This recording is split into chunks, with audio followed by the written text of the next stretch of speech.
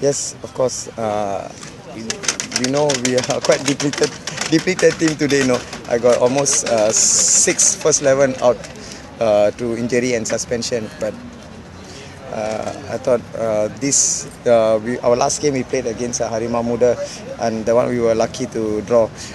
after that, we had three weeks to prepare for this game, and not easy to motivate the players, especially behind the second tie. We got nothing to play play for. But I tell you, the last three weeks training was excellent. I think the boys uh, trained very hard, worked very hard, and uh, like like I was telling my assistant coach, we are training as if this the uh, uh, beginning of the season or we are uh, working for a playing for a cup final like that. But I thought the boys worked very hard.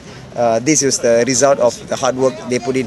We uh, we we changed things a little bit a little bit tactically, not not too much, and um, and Geylang um, Geylang did well. Credit to them, they did well.